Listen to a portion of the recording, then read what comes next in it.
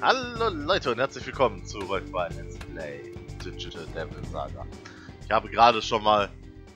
Ich, ich, ich lade nicht hoch, aber ich, ich bin zumindest mal erwähnt. Ich hatte gerade dieses unglaublich schöne Vergnügen, hier schon einmal reingegangen zu sein. Und...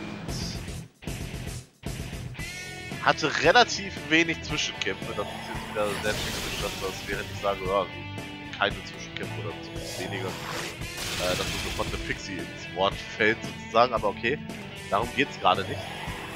Hatte relativ entspanntes Durchlaufen, war schön am Quatschen. Hatte eine Schatztruhe gefunden, die hat dann halt Schaden gemacht, dazu später mehr. Ich werde sie trotzdem öffnen. Keine Sorge, ich, ich lasse mir trotzdem meinen ins Gesicht hauen. Ungefähr die Aussage gerade. Ja, ich weiß, da kriege ich einen Vorschlaghammer in die Fresse, aber ach, das, das können wir ab sind ja echte, echte große Dämonen und so, wir können das. Ja, wir sind ja nicht mehr klein. Äh, lauf ein bisschen danach, vergess mich zu heilen. Und weil ich in der im nächsten Kampf nicht als erstes dran war, war ich sofort langsam dahin gemeuchelt von unter anderem einer Schönheit wie der da. Das äh, war nicht ganz so witzig. Behaupte ich jetzt mal so. Und ja, ich weiß, ich könnte auch so ein Todesrad mal irgendwann entwickeln und dann nur noch meine Tode zeigen, aber nein. Ich möchte ja so tun, als hätte ich wenigstens keine Ahnung von dem, was ich da mache. Was knapp 90% der Zeit nicht funktioniert. Einfach allein schon dadurch, wie ich öfter mal auf die Fresse kriege. Obwohl ich ganz genau weiß, was ich machen sollte. Na, dann rennt man trotzdem hier ein bisschen durch die Gegend und zack, ist mal wieder tot, weil man nicht aufgepasst hat. Ja. Naja. Eigentlich sind wir hier, um über schöne Dinge zu reden. Oder zumindest um einen optionalen Boss. Oder um genau zu sein, wir jagen Beelzebub. Er hat sich hierhin verkrochen. Und ja, den wollen wir haben. Den wollen wir machen. Ne? Ihr versteht? Und so? Ne? Oder auf äh, Deutsch, wir wollen Morchen. Er soll die Radieschen von unten betrachten und dabei seinen Teil tun als Dünger für die Böden. Naja. Ja, ich weiß, dass hier... Ich, ich meine, viel mehr weiß ich jetzt gleich auch schon nicht mehr, aber ich wusste, dass da noch eine Sackgasse ist. Aber ihr wisst ja, dieser, dieser Zwang, die Karte aufzudecken, zumindest genau zu sehen, da war ich, da ist alles gut. Sollte ich halt sein lassen eigentlich, aber naja, da sind wir jetzt auch soweit fertig. Aber ein Stückchen fehlt noch. Eine andere Sache, die wir hier hoffentlich, während ich hier durch die Gegend laufe, hinkriege, ist, wir wollen Null Death lernen. Weil, mal abgesehen davon, dass es wichtig für den Bosskampf ist, ist es für den Bosskampf. Und deswegen wollen wir Null Death haben. Ja, das habt ihr schön gemacht. Interessiert mich nicht. Aber hey, sie haben halt ihre ganze Kraft aufgewendet dafür, das einzusetzen. Ja gut, ich komme dann halt um die Ecke und sag, ja, äh, ist eine Zustandsveränderung, die wir gerade nicht wollen. Hier haben wir sehr interessante Gegner, das sind Arahabakis. Und die sind eigentlich relativ anfällig für, genau, Vereisung sobald sie vereist sind, ist deren Schild weg. Wir können sie relativ einfach eliminieren. Kriegen sehr, sehr viel Geld und sehr viele Anfahrpunkte für den ganzen, äh, ich sag mal, Trubel, den wir da hatten. Und damit sind sie teilweise hier die, ich will jetzt nicht unbedingt sagen, die beste Alternative für den Turm zum Leveln. Aber es ist verdammt gut. Und Kokytos ist äh, im Prinzip in dem Fall nur die gute Variante zu nutzen, weil die Chance auf Vereisung bei Kokytos höher, höher, höher, hat, äh, höher ist, als wenn wir ganz normale Techniken verwenden. Sowas wie, lass mich überlegen, Fudine. Also es ist ganz gut, darüber zu ver jetzt äh, verwöhnt mich das Spiel, aber das ist zwar ganz nett, aber das Problem ist, also zum einen ist das Problem, wenn einer überlebt, beziehungsweise nicht vereint bin, muss ich hier umschalten. Das finde ich nicht nett. das finde ich nicht gut. Wie kannst du es wagen zu leben, um mir meinen Job schwierig zu machen? Ähm, naja, zum anderen ist das Problem, wie gesagt, dass wir sehr viele Atma-Punkte führen, was als im Großen und Ganzen von so einem super großen äh, Lutschbonbon ganz toll ist. Aber ich müsste dann eigentlich wieder umdrehen und jetzt direkt das nächste reinpfeffern, weil sonst äh, verschwende ich wieder Zeugs. Das heißt, eigentlich muss ich jetzt wieder an dieser Stelle umdrehen. Was ich jetzt mal einfach schweren Herzens nicht tue. Ich werde es bereuen. Absolut ich an. Es sei denn, ich habe jetzt nicht mehr so viel, in Anführungszeichen, Glück. Und alle 5 Sekunden kriege ich die. Ich habe in meinem Run, in dem ich gestorben bin, bin ich halt tatsächlich hier nur einmal drin gewesen, habe gegen einen Pixie gekämpft, den ich unterschätzt habe. Äh, sie können mittlerweile Megidolaon. Ohne dass da steht, sie haben zu wenig MP oder sowas. Also sie ziehen das wirklich durch, die machen Megidolaon. Und sie halten viel mehr aus, also es ist nicht so, dass ich ich sag mal in Anführungszeichen blöde einfach draufhauen kann und sie stirbt in zwei, drei Runden. Nein, dann überlebt sie tatsächlich zwei, drei Runden, also komplette Runden von diesen Angriffen und nicht kleine Angriffe von mir und Heat und so. Äh, zum anderen habe ich wie gesagt eine Truppe getroffen, unter anderem mit den grünen Damen da, die mich dann in einem Zug gebracht haben, was auch nicht so toll war. Genauer gesagt haben sie es in mehreren Runden gemacht, ne? aber sie haben halt so oft angreifen können, weil da auch eine Schwäche für Feuer hier drin war. Beim guten alten Surfy Surf. Das ähm, kam nicht gut. Was mich zu dem Punkt bringt, ich hatte es extra gelernt, da haben wir es. Kann die Schwäche ausgliedern, aus, aus, Grenzen, wie auch immer. Ähm, das heißt, wenn wir jetzt angegriffen werden mit einem Feuerangriff, dann interessiert es unseren Surf einfach nicht. Das ist gut. Ja, Bahama ist schlimmer, abgesehen davon, dass es kein Incident mehr ist, wie damals Schiene Solange das nicht wieder irgendwo auftritt, ist das so, ja, ja, was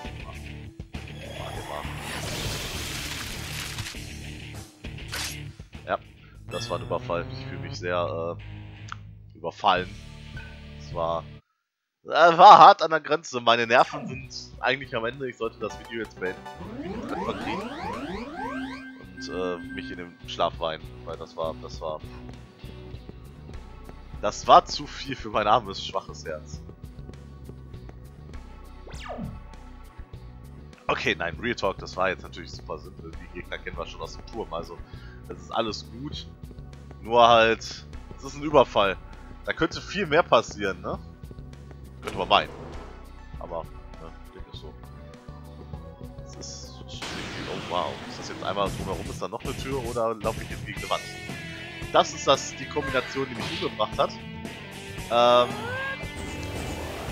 Makakaja plus die Zusammenarbeit mit, äh, ich glaub, trotzdem Kushinada war das. Und sie hat das gemacht. Ist aber egal, jedenfalls kommt diese Maragadüne und ihr wisst, wie Mahagadüne funktioniert. Macht tot. Relativ schnell. Also, ja, und das dann daran gekoppelt, dass ich nicht gegen Feuer immun war, kommt uncool. In gewisser Weise. Ah, hier ist ein Schatz. Das ist auch noch ein Du bist ein Schatzschatz, ich weiß. Vital Noise, also mehr HP. Oder war es einfach nur Vitalität, was immer noch mehr HP ist glaube, gab und nur das in dieser Form. Also ja, mehr HP in Vitalität. So, jetzt darüber gucken. Naja, wer, wer hat sie nicht vermisst, ne? Die wunderschönen.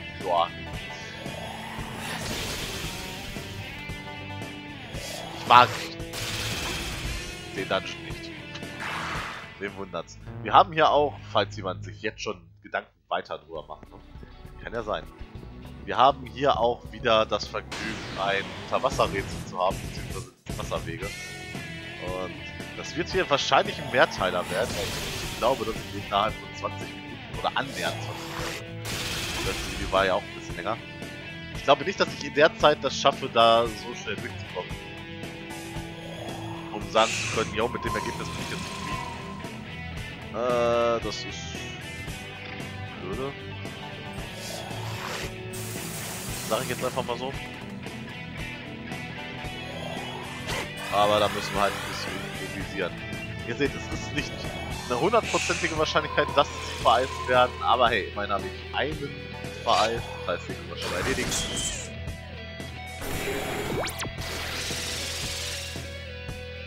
Und letzte Worte sind unter anderem, wie ihr wisst, eine gewisse Wahrscheinlichkeit uns zu versteinern. Also etwas, was ich nicht unbedingt gerne sehe. Aber okay, hat gepasst.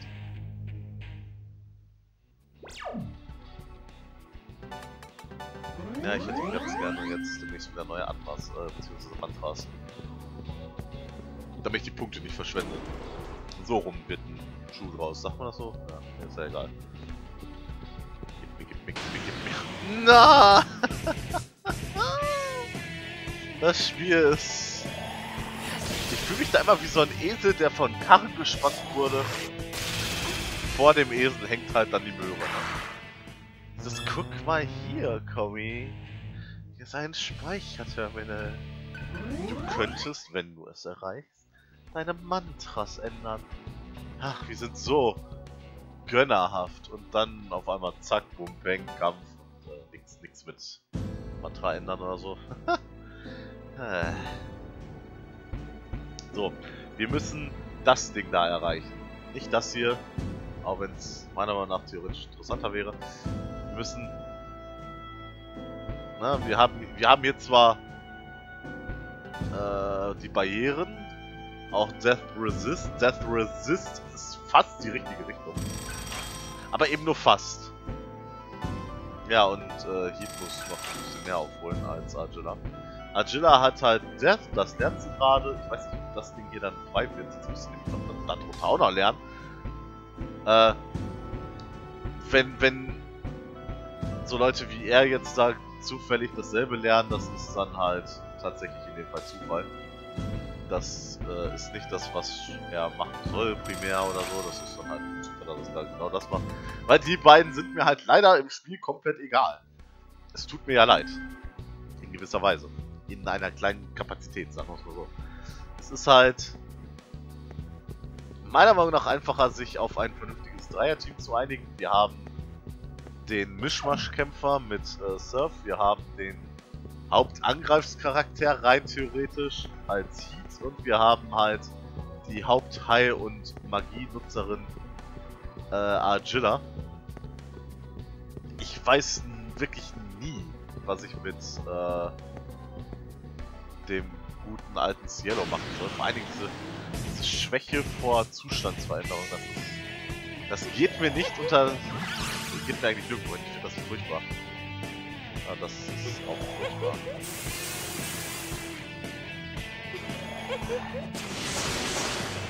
Was habe ich wieder nicht gemacht? Ich habe nicht gespeichert.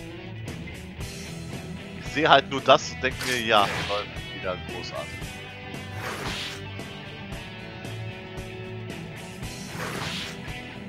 weil das Spiel sich entschieden hat zu sagen, ja, die dürfen zuerst angreifen und sonst wieder kommt aus Ah, ich hasse sowas. Surf ist wenigstens wieder bei Sinn, Heat ist wieder bei Sinn, alles wieder das ist halt, wenn ein Angriff, ein Angriff von mir alles ausrottet, dann sehe ich das jedes Mal sehr entnervt, dieses, oh ja, toll, die Gegner sind zuerst. Ah. zum einen tatsächlich auch Fragen mit diesem, was kommt jetzt wieder für ein Mist? Zum anderen einfach nur, ja toll, jetzt muss ich wieder warten, krieg auf die Fresse, nix. Abgesehen davon, ich tue mir ja schon selber weh mit meinen Angriffen, ne? Dann muss das eigentlich nicht auch noch der Gegner für mich erledigen. Ich arbeite ja schon vor. Rein theoretisch. Aber naja, okay. So ist das halt manchmal. Sharpshot. Bin mir ziemlich sicher, das war ein schlechterer Schuss als alles, was wir momentan haben. Von daher einfach mal komplett ignorieren. Und im Hinterkopf vielleicht behalten, ja, wir haben auch einen Sharpshot, aber nee, weg damit. Einfach zu den anderen Kugeln auf den Stab legen, dann passt das.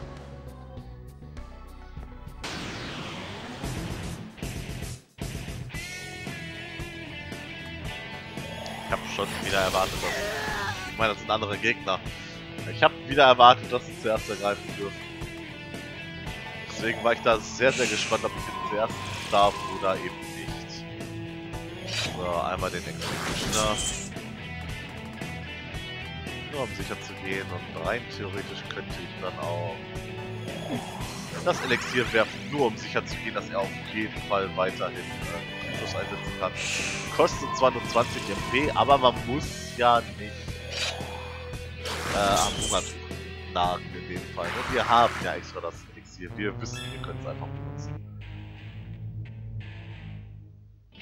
Aber ja. Heat mit dem Level Up geht mit gutem Beispiel voran, sollte jeder nachmachen. Jeder von euch sollte da rausgehen und sich ein Level-Up verschaffen heute. Würde ich gerne sagen, ist aber nicht menschenmöglich. Also, nehmt euch euer Lieblings-RPG oder das, was ihr gerade am Spielen seid, ist wahrscheinlich sinnvoller. Und holt euch ein Level. Irgendeins. Ich sage irgendeins in Anbetracht, dass wir bei Final Fantasy 5 eher darauf bedacht waren, Job-Level zu kriegen. Aber wenn es nur das ist, dann holt euch ein Job-Level. Macht es, ihr werdet froh sein, es getan zu haben. Es sei denn, ihr habt andere Verpflichtungen, sowas wie Familie hingehen oder so. Dann tut lieber das!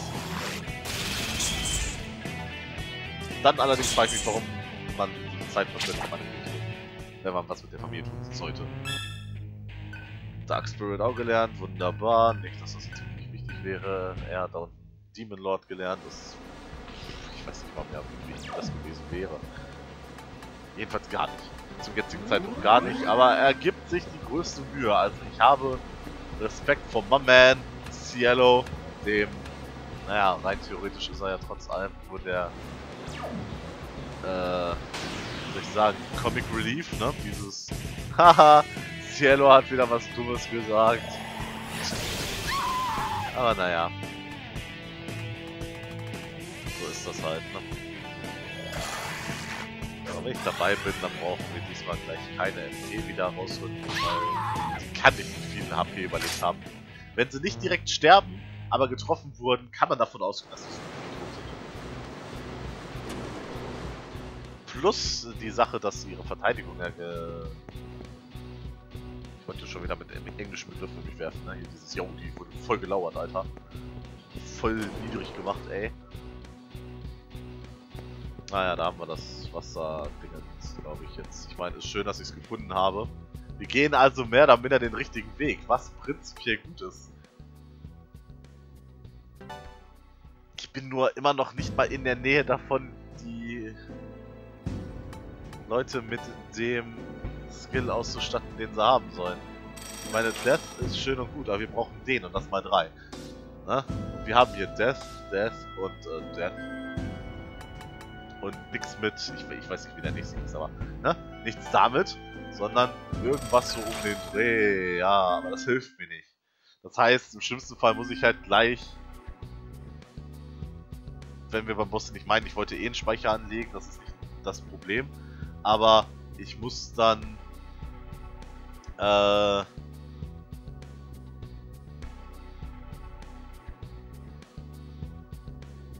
bla bla bla, ups, nein, das wollte ich nicht. Äh, muss dann wieder äh, speichern und nochmal irgendwo, und sei es hier drin, das ist ja nicht das Problem, aber da muss ich trotzdem wieder ein bisschen im Kreis rumlaufen, um das dann tatsächlich auch gelernt zu haben. Naja, so ist das halt. Ja, gut, glücklicherweise haben wir das Ding nicht weggeworfen und da ist immer noch Luft drin. Das hinterfrage ich auch nicht mehr. Da können wir nicht lang, okay. Das ist ein kleines, soweit ich weiß, wenn überhaupt eins.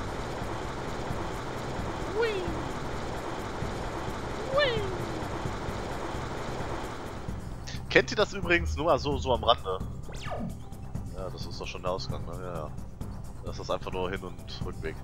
Ähm, kennt ihr das eigentlich, wenn ihr, egal welchen YouTuber, ist, muss nicht ich sein, wäre schön, aber ne, darum geht's nicht.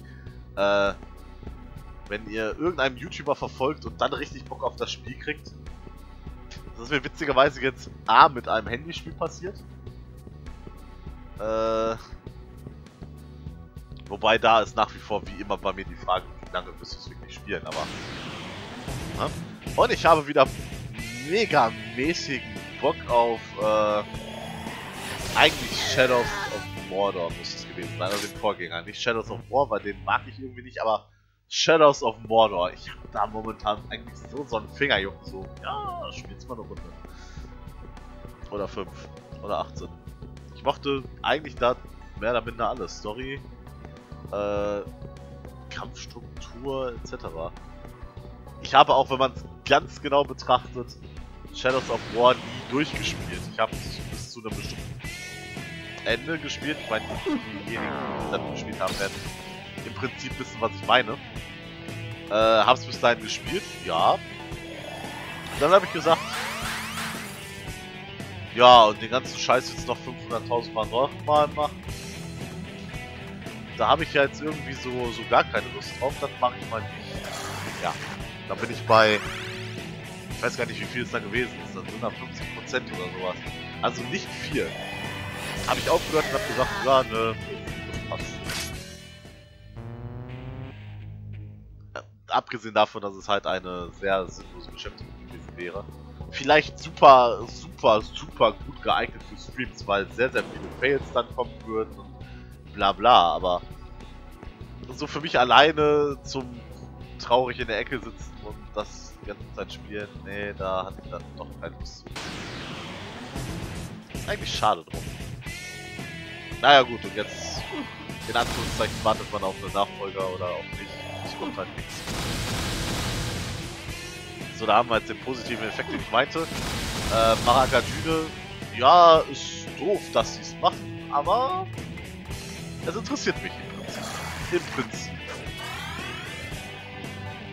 Natürlich trage ich denen das immer noch nach und lösche es direkt aus, aber der Punkt ist halt, das können sie machen, es, es entsteht keine Schwäche mehr und dadurch können die Gegner auch keinen neuen Zug gewinnen. Also, wenn alles schwächentechnisch abgeschlossen ist, dann kann kein Gegner mehr etwas aus uns rausholen, außer er macht aus irgendeinem Grund einen äh, kritischen Treffer. Das geht dann leider trotzdem noch dadurch. Äh, ich weiß nicht, ob einer von euch irgendwas regiert oder so, aber scheinbar nicht. Man weiß es ja nicht. Die Arabakis müssen es irgendwie können, aber scheinbar wird halt auch durch Vereisen in dem Fall halt tatsächlich alles an Verteidigung rausgehauen. Was sie theoretisch hätten. Von daher passt das so. Und ja, ihr seht es ja, wir kriegen fast 100.000. Leider nur fast ab. Fast 100.000 Erfahrungspunkte. Äh, Geld, Geld, Geld, Geld, Geld, nicht Erfahrungspunkte. Äh, sozusagen Freihaus geliefert in Form einer großen Spardose. Und das ist schon eine gute Sache. Wow, vier Wände echt jetzt? Nein, bin ich gut mit beschäftigt. Nur wo der richtige Weg ist, weiß da auch wieder keiner. Außer einer, der schon drin sitzt oder einer, der eine FAQ oder so geschrieben hat. Oder hinterher wir, wenn wir es fertig aufgenommen haben. Aber ansonsten, meine Herren. Vier Gänge und keiner weiß wohin. Wenn es vier Gänge zu essen wären, dann müsste ich wohl mein Bäuchlein. Aber so, ne, keine Ahnung. Death und Seraphim, sehr gut. Wobei, wie gesagt, Gale und so nicht ganz so wichtig. Wobei, für mich ist immer noch wichtig, dass sie alles lernen. Das schon. War da ein Item oder war das jetzt für eine Sackgasse? Ja, das ist ziemlich wenigstens ein Item gewesen. Das ist eine gute Sache. Ähm, sollte vielleicht schon mal so langsam aufs Endgame ein paar Antworten geben. Die Sache ist folgendes. Wir werden, wenn wir das Spiel jetzt einmal durchhaben, werden wir bestimmte Daten übernehmen können für den zweiten Teil. Soweit nichts, ich sag mal, Neues im Prinzip, ne, weil sonst würde ich mir nicht so eine, so eine Mühe damit machen. Das hätte ich jetzt auch den letzten Boss machen können, vor zwei, drei Videos und hätte sagen können, so, passt, weil alles, was ich hier drin kriegen würde und dann eh nicht mehr nutzen kann, würde ja keinen Sinn machen, mich jetzt damit großartig zu beschäftigen, weil was soll ich damit machen? Die Sache ist halt tatsächlich so, dass ähm, wir unter anderem Geld behalten für das Besiegen von manchen Bossen, also so wie äh, Belzebub etc. Oder den, ähm, den, äh, den Jack Frosts. Ne, da, äh, Ne, nicht den Jack Frost, den äh, King Frost, so. Von solchen Gegnern kriegen wir in dem Fall hier, in dem Spiel, Mantras, was eine gute Sache ist. Ne? Gut, das sage ich ja gerade. Mehr kann ich gerade nicht sagen, weil mehr haben wir noch nicht. Ähm, aber wir kriegen auch, das ist vielleicht ein bisschen interessanter, im zweiten Teil Ringe auch wieder so eine richtig blöde Kombination, weil ich gerade Aha. Äh, wir kriegen da Ringe, die spezielle Effekte auslösen. Also im nächsten Teil haben wir einen Ausrüstungsgegenstand mehr. Im Prinzip. Und die können nur erlangt werden, also die speziellen Ringe, es gibt hinterher immer noch Ringe, die man so kriegen kann. Ähm, aber es gibt halt spezielle Ringe, die man nur durch diese Bosse kriegt. Und auch die möchte ich haben, außer einen, weil das ist dann wieder... Da müsste ich das Spiel durchspielen. Und nochmal durchspielen. Um das zu holen, da habe ich dann ehrlich gesagt überhaupt keine Lust drauf. Das äh, werde ich meinen Lebtag wahrscheinlich nicht machen. Das ist so mein Problem mit solchen Geheimnissen. Das zwar eine tolle Sache, aber äh, nee, danke. Also ich spiele jetzt kein Spiel zweimal direkt back am back durch. Ich habe kein Problem damit, nach diesem Ding hier direkt Digital Devil Saga 2 zu machen. Das ist ein anderes Spiel in dem Sinne. Äh, das passt, aber so back to back, boah, also dasselbe Spiel zweimal. Nee, nee, nee. Habe ich noch nie, werde ich auch nie. Deswegen sind New Game Plus Optionen in ähm, RPG-Spielen für mich, ja, man könnte sagen ein No-Go weil ich es nicht machen werde. Aber jeder wie er möchte halt. Wenn ich mir halt nur vorstelle, der ganze Fortschritt, den ich habe, ist im Großen und Ganzen weg. Und jetzt mach alles nochmal von vorne. Nur auf, keine Ahnung, schwerer oder so. Ja. War noch nie meins. Habe ich bis, bis heute auch noch nie in irgendeinem Spiel gemacht. Egal wie gut es war. Nie gemacht. Von daher Ach ja, und dann ist das Schlimme, wenn ich dann doch wiederkommen sollte zu dem Spiel, dann ähm, fange ich tatsächlich einfach neu an. dann sage ich, ja, war schön, aber ich Weil mir dann die ganzen Vorteile vorkommen würden, die bescheißen. Das ist total abgefahren. Ich glaube, wir sind tatsächlich da, wo der Boss wäre. Was zwar ganz schön ist, aber das heißt auch, dass ich immer noch nicht das habe, was ich werden sollte. Jetzt hätte ich zwei Optionen. Den Bosskampf einfach so versuchen, was an kämpfen würde. Weil er einen neuen Angriff dazu gelernt hat und der verursacht Instant Death und wenn man den nicht blocken kann, oder nur vielleicht blocken kann, ich nenne es blocken, das kriegen wir ihn ab, aber ne, dann ist sehr, sehr schlecht, dann sehr schnell Schicht im Schacht. Das wollen wir nicht unbedingt. Das ist das eine. Das andere ist und Weise, wie ich mir jetzt die Erfahrungspunkte hole. Ich kann jetzt einfach im Kreis drehen und dann äh, darauf hoffen, dass der Kampf stattfindet. Was eine Option wäre zumindest. Oder was ich auch machen könnte, ist ähm, tatsächlich einfach nochmal in den Dungeon hineingehen mit euch und mal gucken, ob wir da vielleicht irgendwas finden. Aber es ist halt so, das ist tatsächlich so eine Sache, so oder so, beides und zumindest nicht super interessant anzusehen, muss man behaupten. Wenn man da jetzt wirklich hin und her läuft, so, um dann hoffentlich mal ne, das hinzukriegen, weil das muss ich eigentlich nicht haben. Das erste Mal, dass das nicht direkt geklappt hat mit dem Das ist eine Gemeinheit, ist das. Frevel. Aber ja, das sind die zwei Optionen, die ich prinzipiell da hätte, um jetzt mit der Situation umzugehen. Ich tendiere tatsächlich dazu, dass ich mich ein bisschen im Kreis drehe, weil wir jetzt zumindest an einem großen High-Terminal angekommen sind. Und dann im nächsten Part einfach hier fortsetzen und zumindest schon mal den großen bösen Buben herausfordern. Dann kann nämlich jeder, den es interessiert hat, ausschalten. Weil ist erledigt. Ähm, diejenigen, die bei mir bleiben wollen und mein Gequatsche hören möchten über irgendwelche Themen, die absolut keinen Sinn machen, die können das dann nämlich auch. Weil danach werden wir tatsächlich in der Kanalisation rumrennen. So, das ist das, was wir brauchen, den bösen Gott. Zum einen lernen wir auch Debilitate endlich mal, damit wir tatsächlich äh, Debuffs nutzen können. Das ist immer sehr praktisch, es ist unabhängig davon, wie gut der Nutzer in Magie ist. Kann ich zum Beispiel auch einfach das, äh, sagen wir mal, Heat geben für eine Runde, wo er nichts machen müsste, kann er das sprechen. Und wir haben 0 Expel und 0 Death.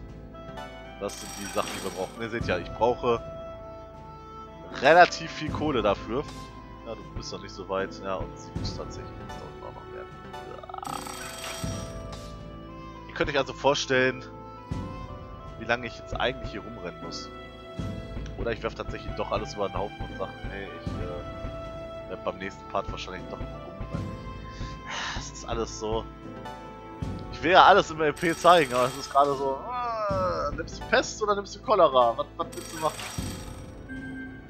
Es ist ja nicht so, als wäre ich, sobald ich da mit dem fertig wäre, fertig. Ne? Ist, ich muss ja immer noch mehr machen, so ist nicht.